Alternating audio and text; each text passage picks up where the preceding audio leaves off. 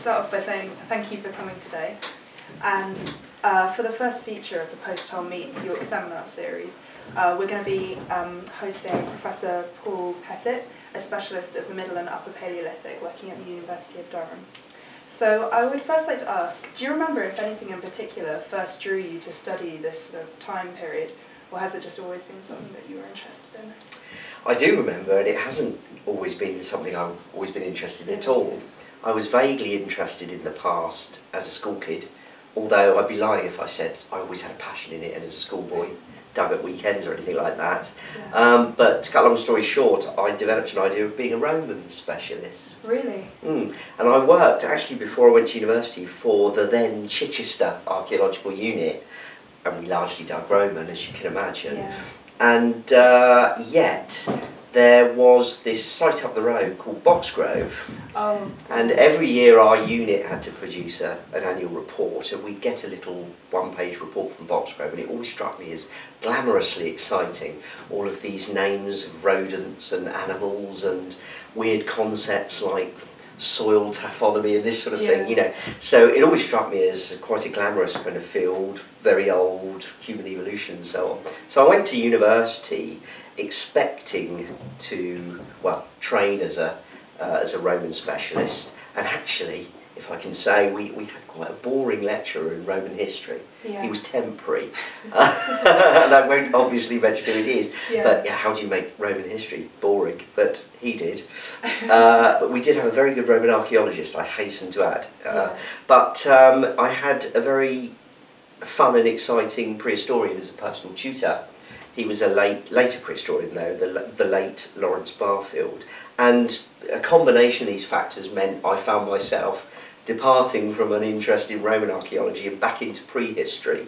And then uh, eventually back through later prehistory where I bumped into the Paleolithic and that was it. It's a big turnaround, isn't it? It's an extremely big one Yeah. and you know I'd never of course have predicted it uh, and so on. Yeah. okay. Well, I was wondering um, if during your research you've obviously studied several areas of early humans and Neanderthal behaviour from art expressions and funerary practices, um, but also Paleolithic chronometry, and I was wondering if you could explain to me what that was exactly.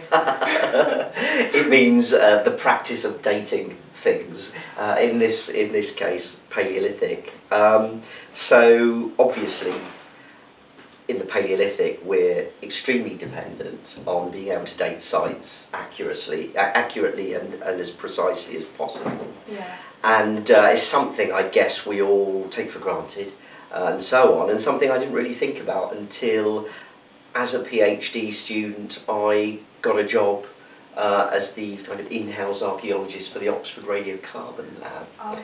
So uh, in the sort of week I had before the interview there, I had to really cram up on radiocarbon dating, and, and I spent six years with them, and uh, you know working with hard scientists, physicists, Yeah. chemists, chemists working on radiocarbon. So I learnt a lot uh, about the limitations of dating, the possibilities, how not to use dates, and so on. So it's something I've retained uh, ever since, really. And things are never really as they seem uh, with what otherwise look like straightforward dates. Uh, You Yeah. know, so um, I think there there is a respectable field. You call it chronometry, Yeah. uh, if you like, you know, but um, uh, the, the working out what the limitations of our date data sets are. And obviously, the further you go back, the more difficult it is to pinpoint the date, isn't it? Yeah, absolutely. The the less precise Yeah. uh, our dates become. In other words, the bigger the ranges are. But even in areas where we think it's all done and dusted, and uh, you know, there, there's still lots of potential pitfalls. For example, the middle to upper Paleolithic transition, Yeah. or to put it another way, Neanderthal extinction and dispersal of our own species is is really predicated upon. Uh, an understanding of big radiocarbon data sets, and there are all sorts of problems Yeah. which beset, yeah, you know, even this relatively recent field in which dates are quite precise. Yeah, definitely. Um, I was going to ask you um, a question about the Creswell Crags Caves, um, which in 2003 you co-discovered.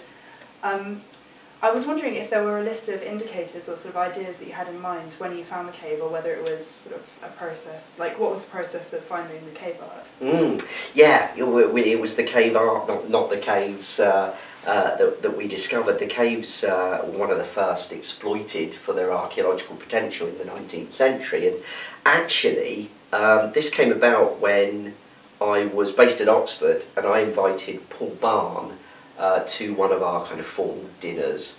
I think it was called a feast. You know, at my college, you're supposed to take somebody important who can either be prestigious or donate lots of money to the college. You know, Paul I felt prestigious enough. Yeah. We short, shortly beforehand become friends when Paul got in touch with me asking me my opinion about the radiocarbon dates for the art of the Grotte Chauvet uh, in France that yeah. we both have considerable problems with. And uh, we shortly became friends. I invited Paul to this dinner, and over the course of a fairly boozy evening, in my case, Paul doesn't drink, uh, you know, Paul said, I'd love to search for cave art in Britain, but I wouldn't know where to start.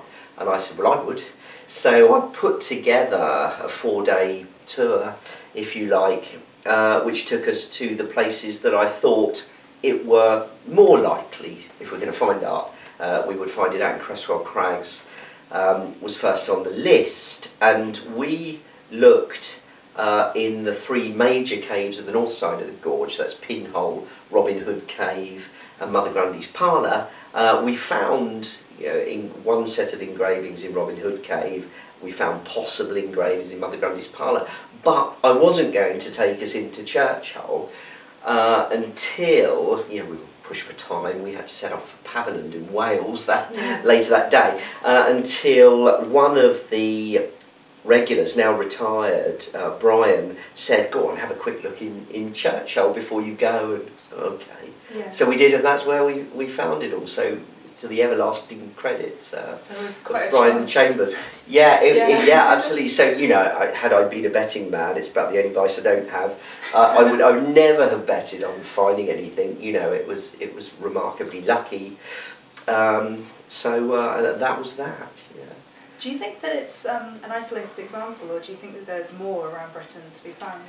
Well, certainly it would be nice to think there's more, and indeed, since then, since, well, certainly since 2004, Paul and I have been looking uh, in other caves, and that uh, still goes on, uh, albeit infrequently. We've not found anything. Claims have been made for an engraved mammoth in Gough's Cave in, in Cheddar Gorge, that's entirely natural. Yeah. Claims have been made for an engraved animal, question mark reindeer in Cathole in Wales, that's an engraving, but almost certainly far younger than the Paleolithic, so there's nothing convincing yet. And uh, you know, one finds from time to time marks that look like they could be engraved, but carnivores can be irritating little critters and leave, you know, what look like um, uh, engraved marks. So, in short, I mean, it's always difficult to answer that sort of question sensibly, but I'd like to think there will probably scrappy bits more. One really gets the impression that when you get out of the heartland uh, of Upper Paleolithic art, in Europe at least, uh, it becomes far less uh, common. But that having been said, they've just found some open air Paleolithic engravings in Germany. Oh, so, you know, so um, th there's always a surprise out there. And as you will see uh, tomorrow um, in the journal Nature, similarly aged cave art has just been found in Sulawesi uh, in East Asia and dated very well. So there's always a surprise there. But yeah. in Britain, I think, it's so far to the north of the, the occupied Paleolithic world that humans are hardly here. So, you know, when they're here, they're here in small numbers, and probably preoccupied with other things than, yeah. than, you know, doing their rituals in deep caves and leaving art in them. So the search continues. It does yeah. indeed, and I have to say it's good fun doing it anyway. You know. yeah. um, I was going to ask a question on you've you studied the um, the Neanderthals extinction, and I was wondering what from your research do you believe the reason this of this is it sort of humans? Um, are we the reason for their demise? I think it would be fair to say uh, that the answer to that is almost certainly no. Now, um, I mean, a lot of other people have done far more work on the chronometry uh, of, of Neanderthal extinction and, and our own dispersal in Paleolithic Europe than, than I have. And on the basis of quite a large data set uh, that we have now, I think it's fair to say that pretty much everywhere Neanderthals become extinct before the arrival of our own species. Certainly there's no evidence of any plausible overlap at least of any appreciable period of time. And I don't think really one can argue on a stratigraphic basis that we turn up in a given area and bang Neanderthals go you know pretty quickly. So I think that will be unlikely. So it seems that for whatever reason Neanderthals became extinct. It didn't involve our own species. Don't ask me what those other reasons uh, for actual extinctions could be. Well, you know, if you, if you look at it in a very broad uh, sense, Neanderthal have, Neanderthals have their heyday, um, let's say for the sake of argument, between about 75 and 120,000 years ago. There are relatively large numbers of sites, relatively large numbers of Neanderthals in Europe and so on, and, and from that point, uh, you know, there's a gradual decline. Uh, if you look in the climatic context, climate is remarkably unstable. You know, it shakes them up and so on, and um, and then we come into an extremely cold and unstable period approaching 40,000 years ago in which a lot of animals, big animals, become extinct, like certain rhinos and this sort of thing. Yeah. So we have a context for it. You know, Neanderthals are big animals, yeah. partially big woolly animals that, that become extinct as well. So presumably climate and the resulting shaking up of ecosystems and so on is probably a little too fragile for yeah. them. So I'd never look at, at one cause, it's probably this interrelated thing. But, and, and possibly as a sobering thought, given that we seem to appear uh, after Neanderthals become extinct in each region. And given that, say, as João Zilhão has suggested in Iberia, you know, we only make it to the north of Iberia relatively early. Neanderthals persist in the south, and it's only when they disappear later do we go south. You could actually argue that there's some limitation on our own abilities to disperse, and that what we are doing really is occupying a, a kind of recently vacated ecological niche. You know, so uh, rather like carnivores and early humans, you know, when the big carnivores go, life becomes a little easier in Europe for Heidelbergensis or antecessor or whatever you want to call them. Uh, maybe you get a similar situation with sapiens and Neanderthalensis. So they were like the dominant species and we've moved in, possibly? Yeah, I mean, one thing the last few years is telling us is that, of course, Neanderthals had cognitive and behavioural capacities that were, were far closer to ours. Yeah uh, than we've hitherto given them credit for. And of course, they are the indigenous human, uh, European humans. Yeah. Uh, of course, they're going to have an intimately expert knowledge of these difficult landscapes. So surely the default argument must be that they knew what they were doing. Yeah. and although it would be a little trite to suggest that we didn't as we kind of tap danced across Europe painting our caves and all this sort of thing you know there, there, there, is, there is a reality to that that you know the Neanderthals were survivors. Uh, they were tough. And there's no reason I think to suppose that we had some kind of odd adaptive advantage, advantage. yeah absolutely yeah, Neanderthals have suffered a lot from bad press, haven't they, recently? Yeah, absolutely. yeah. Um, yeah, so again with the Neanderthals, it's been recently, analysis has suggested that on average um, Europeans have about 6% of their DNA. So do you think that it's likely that there was much interbreeding between the two species?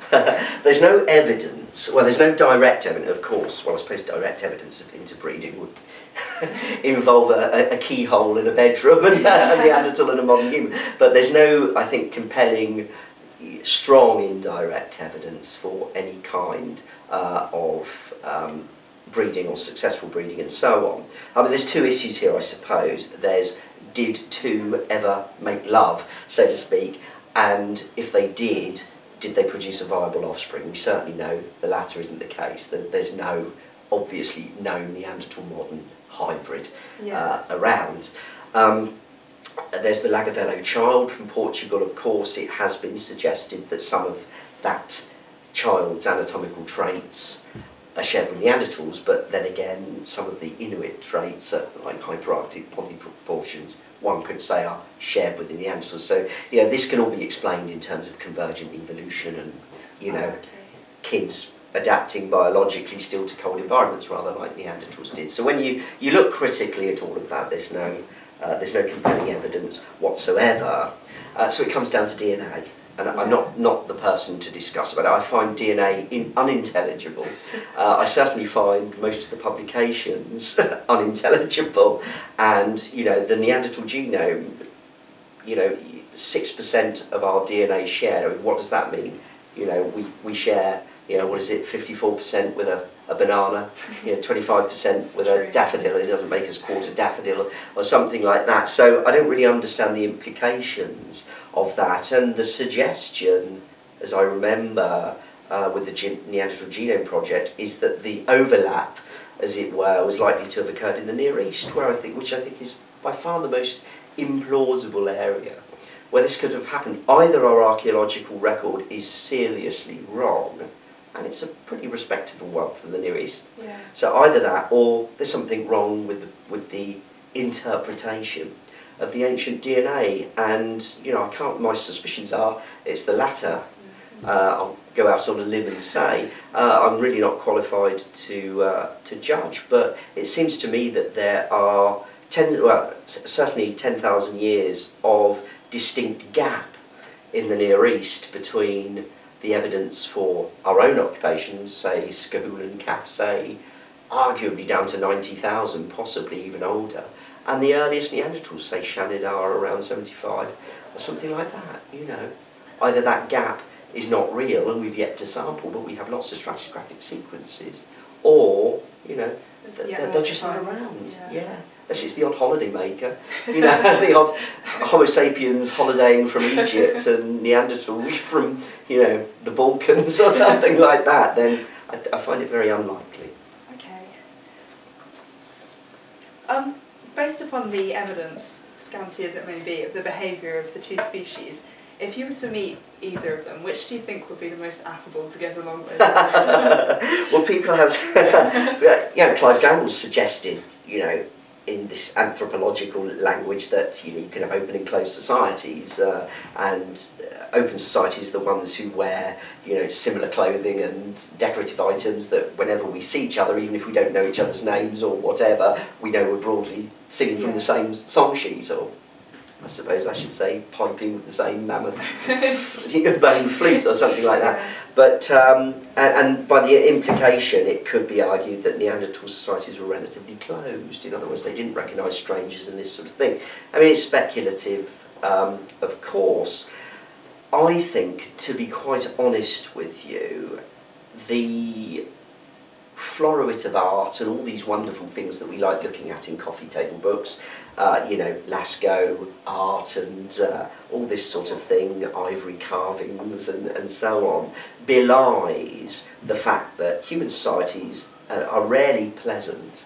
And I'm sure if you go back to the Magdalenian or the Gravettian or the Aurignacian or the Mousterian, depending on which species you want to talk about, you, you won't find, you know, people who get up, shake your hand and say, join us in the campfire. You know, we were just having a gossip Yeah. you know, this sort of thing. I think it's a tough world out there. Uh, there's evidence for, you know, there is evidence for violence. You know, it's remarkably different uh, a, a world, Yeah. and it's probably not a world, as I say, that they would have said, "Who's this weird guy?"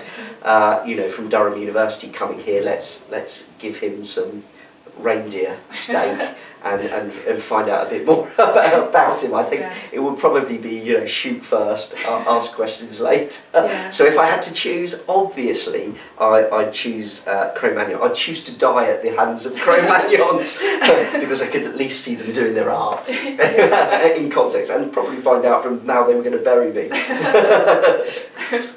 Okay, thank you. Um, next, I was wondering if you would mind giving us a bit of an exclusive and telling us a little bit about any current research you were doing. Uh, yes, certainly. Well, other than um, developing my kind of ideas about long-term human mortuary activity, how our treatment of the dead begins and unfolds. That's an ongoing one. Largely, I suppose the thing that's most to the forefront is working with colleagues on dating cave art. That that's particularly Alistair Pike at Southampton, who does U series dating, uh, Joao Zilhão uh, at Barcelona, and um, Marcos uh, Garcia Díez from the University of Pays Basque. So we form a, a core of a team which are using uranium series dating uh, to date stalactites that have grown over art, in other words, to produce Oh wow. maximum aging. Yeah. We think for a variety of reasons it's the most reliable uh, technique if relatively imprecise. It's accurate in terms of providing minimum Yeah. ages, but otherwise imprecise. But we think it's the most um, reliable. So we uh, we've already published some preliminary results which have pushed back art, and uh, we're starting, we think, to get a general pattern of how art develops with a kind of non-figurative phase first, and then a then figurative art coming in. So we've got uh, a grant for the next one, I suppose, two and a half years now. We're half a year into a three-year project in which we're looking at caves, a number of caves in Spain, France, and we hope Italy uh, as well to, to really bombard that. Wow. Yeah. So that's, I guess, what I'm more preoccupied with at the moment. That would be really good to get some sort of at least minimum dates for the it? Absolutely, yeah. yeah. Excellent. Um, if you were given the chance to excavate on any archaeological site in the world, from the present day or the past, where would it be and why? Pompeii, something with loads of gold or something like that. No, being serious, if it had to be Paleolithic, wow. Here's a broad question, I'm sorry. I think it would be in a cave, and it would be in a cave with lots and lots of art, because you know we know. I'd have to say I'd be lying if I said to you there had to be serious research questions. Obviously, you know I, I love the idea of digging somewhere like Le Tuc d'Audoubert or Lascaux Yeah. or something like that. You know, but there is a serious issue in that we often don't really have much of an idea what has gone on that is reflected archaeologically in the sediments of wonderful Yeah. sanctuaries, if you want to call them that, uh, and so on. So, and, and you know, that, that's something that's close to my heart. Putting putting these two things together, what's on the walls, what's been going on uh, in various places in the caves. So, inevitably, I'm going to say Altamira. I think, as there's tons of sediments there Yeah. still. You know, it's such a wonderful cave art site. It's it's one I've been privileged to to work in. Uh, and so on, and it's Spain, and you can come Yeah. out and have seafood and Spanish wine. so Altamira. Altamira, okay. Actually, I was wondering if I could ask, why do you, what do you think drew our ancestors to produce art in the caves? Like, are there any sort of theories that might explain that? There's, there's, there's far too many theories, I'm afraid, and they're, they're, they're, they all share one, one thing, and that is they generalise from nothing and therefore probably have very little explanatory power. Uh, I think one thing we can say is that in deep caves where you're out of the daylight zone, you're not there for any reasons of survival or anything like that. You're not there to hunt animals, to gather whatever vegetable food stuff is around and so on. So you're in there for the purpose of exploring the cave and presumably undertaking rituals or, or whatever. So I should imagine, and I don't think it's too far fetched to say that art was produced in the context of other activities that took people into deep caves, and they were almost certainly related to exploration, to weird concepts about what caves are, uh, and to the resulting rituals and this sort of thing. But often we think that it was actually the act of depicting things or leaving symbols on the walls that was important rather than The finished as we would uh, right exactly Yeah. rather than this rather modern concept of I fancy painting a bull you Yeah. know and mm, that's nice you know and this sort of thing. So it's presumably extremely ritualized. It's probably very difficult to understand from our own preconditions even from a modern anthropological precondition. Uh, it, it's probably very weird I should think. And of course probably lots and lots of different reasons, and we're dealing with 25,000 years Yeah. of art, presumably, that, you know, that differ over time. So a sort of process of going down there into these really hard to reach, sort of dangerous places, and the process of putting it on the walls in the first place. Yes, absolutely. It's partially exploration. Uh, it's partially an, uh, an interaction with the topography of the cave in this weird low light situation. Yeah. Um, a movement of things around, often animal bones from the floors being wedged into cracks, and you know, one gets the impression that they really are scrutinising, you know, eh, almost myopically. You know, this, this really isn't a sort of look around and, and so on. So they're, they're using all of the senses, they're presumably ascribing meaning to everything they experience, weird sounds in the distance. And the sensory deprivation as well produced some pretty Absolutely. weird sort of hallucinogenic sort of I wouldn't go that far. Not It- hallucinogenic, yeah, it, it certainly alters the senses, it, it, it- and it is a peculiar um, sensation. yeah. And, and of course, one would have to say unique from a Paleolithic perspective, where normally everything one does is outside, and you know, uh, uh, so a, a completely different world. So it's understandable that these are thought to be and remain to be thought to be weird places where this world uh, meets others. I, I think it's obvious that it must, you know, relate to this in some way. But art is just a little bit of it, and we have to remember 95% of cave art is simple engravings that are very difficult to see. You know, the, the Lascaux are, are extremely rare. Yeah. Okay, and a final question. If you were to spend a day adventure seeking with Indiana Jones, what three items would you take to guarantee your survival? What was his female companion called? Her. There were several. and does this include Indiana Jones, or does he have to be one of my three? I suppose it could do. I think it was if you were with him. So Okay, so he's there because he's got the gun, so that's good. Just His female close to him. um, yeah, to, to ensure survival. Otherwise, uh, probably a Kit Kat, and um, we'll have water, won't we? There'll be a river or something like, or he'll be able to find it and Yeah. that sort of thing. So, a last thing, I don't know. It's a weird one. That's survival. You see, I'd be useless, but then I'm not Paleolithic. So. Well, thank you very, very much for agreeing Pleasure. to come along. And um, as promised, here are your Smarties. Brilliant, thank you. There better be some blue ones in there. So I'm thank you very much.